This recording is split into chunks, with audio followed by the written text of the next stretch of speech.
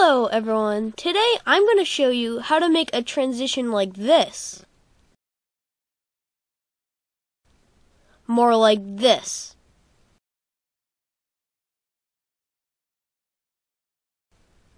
Using these easy steps. The first thing you're going to need to do is to find any one of these preset green screen transitions off the internet. I went to this website right here I will leave this link right in the description below. And you're going to use any of these. So let's say we want to use this one.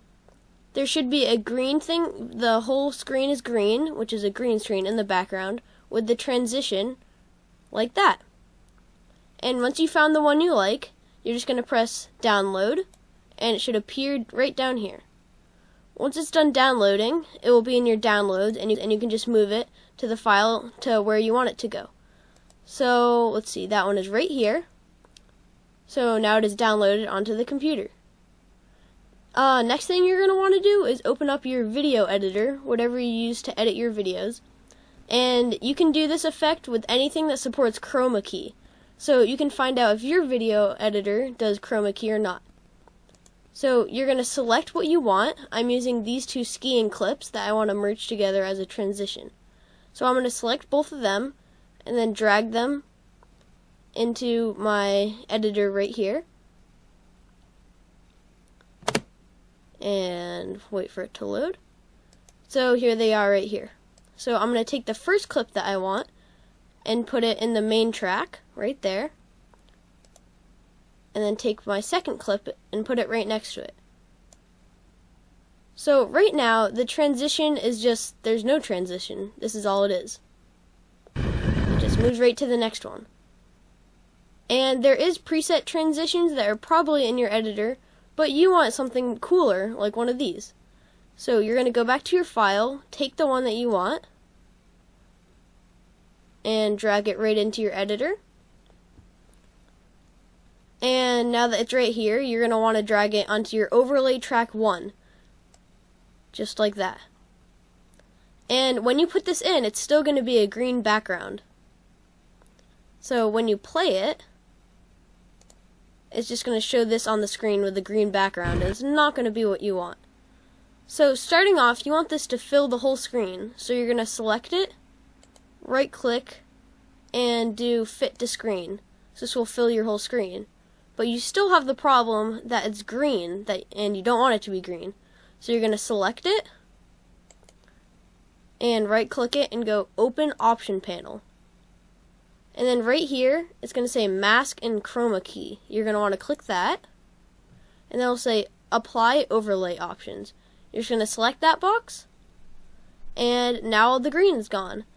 And if it's not like the best green screen where it changes colors, you can use the color picker and pick what you want. So if I pick this right here, it would only select that and make that transparent but not the green. So you're going to want this to be the part that's transparent. And now right here, you can play it. And that should be kind of your transition. But right here, you can see, you can kind of see through it. It's a little bit transparent. And that will make it so you can see through right where the transition is happening. And it just kind of takes the whole effect away from it. But first, you're just going to you're just going to want to align it to where the squares cover the whole screen and that's when you're going to want the want to actually cut the video to the other to the next one. So right there, that's perfect. All the squares are covering it, and it's going to switch to the next one and then go away. But you can see right now it's still transparent. So we're going to want to go right here, and on other editors it might just be making it not opaque, not uh uh not transparent. You can just put it down to 0 so it would be completely solid. But on Corel Video Studio, you're just going to take this and drag it right there. And now it should be completely solid. So this is your transition. Very easy. It's a little bit laggy, but that's because it's just in this part of the editor. So now you can press share and you can export your video. Quick tip!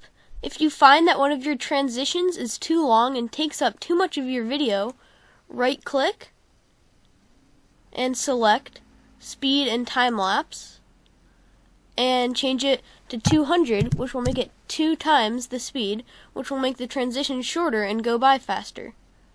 So now you can have more of your video to show and then the transition, which is shorter. Once you're in the share tab, you're just gonna you're just gonna want to name it.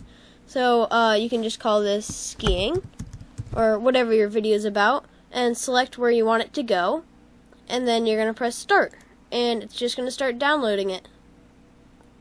So now we can compare what they both look like side by side.